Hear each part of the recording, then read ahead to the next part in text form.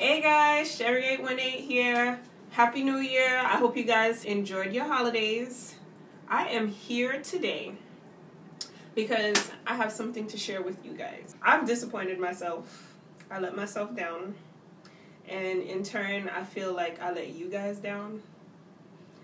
Because you watch my videos, because you have faith that 4C, 4B, 4C hair can grow long.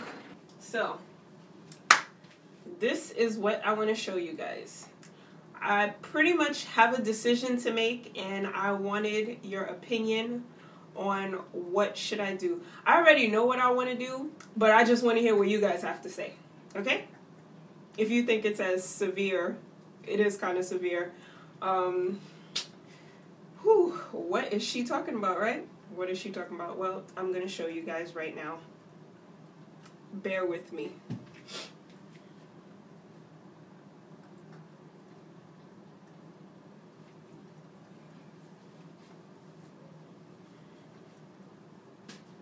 Okay, first, don't mind my hair. I started twisting it, started twisting it in the back. So I have twist in the back and um, I didn't finish. So I have to finish this. But what I wanted to show you guys was this. Check this out. Breakage. Do you see this? Horrible. Breakage. This is what we call breakage. also on this side, more breakage.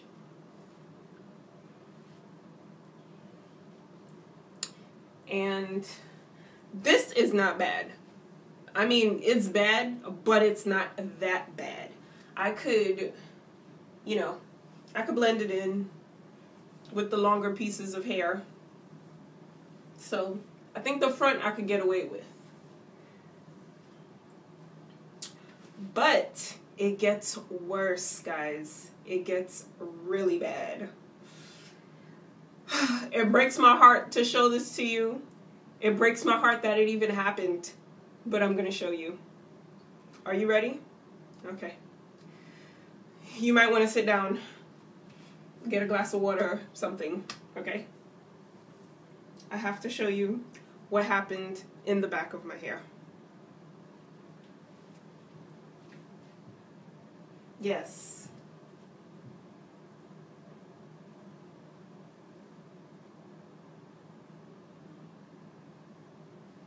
that's what's going on in the back of my hair, guys. Really, really, really short hair in this section right here. I don't know what happened. I don't know how it happened. But yeah. This, and there's more like in here. And these short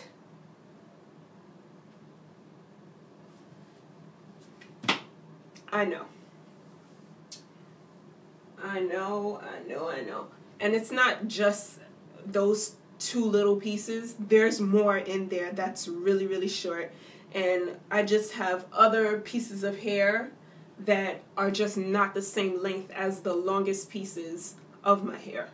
So it's a very uneven. Let's talk about some reasons why this may have happened. As you all know, I use the Magic Star comb.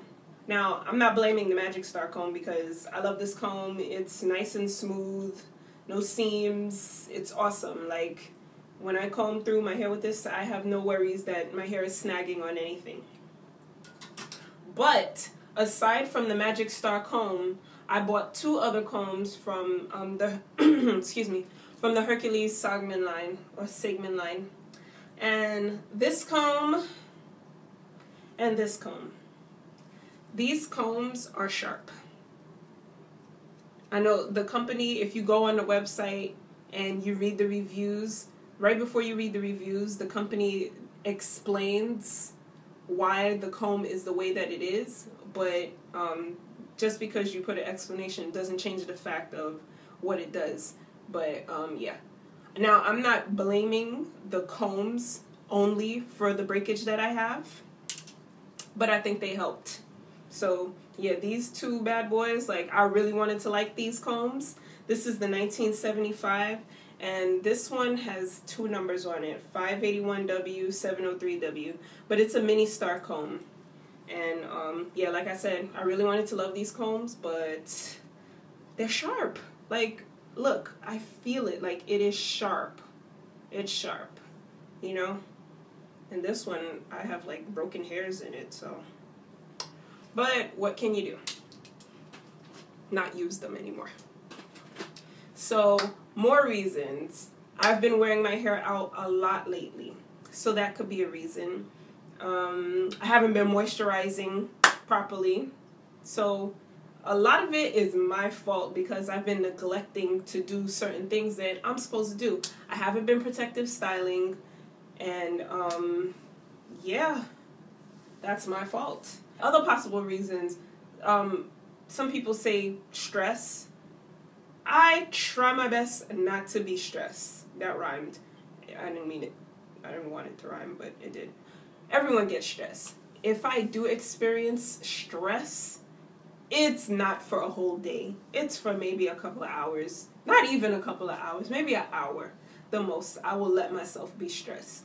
Um, and, you know, and then I get over it. Like, I try not to let things bother me that much. I try to remain positive and all of that good stuff. But um, it could also be lack of water drinking internally, like, you know, and like I said, moisturizing the hair. I, I wasn't moisturizing my hair properly. So, what I wanted to ask you guys was, what do you think I should do? Do you think I should cut off all of the hair and start over? Or should I grow it back? Try to grow it back. Like, I already know what I want to do, but I just want your opinion. I would love to hear what you guys have to say. So, what do you guys think I should do? Chop, chop, chop, chop, chop it off. Should I?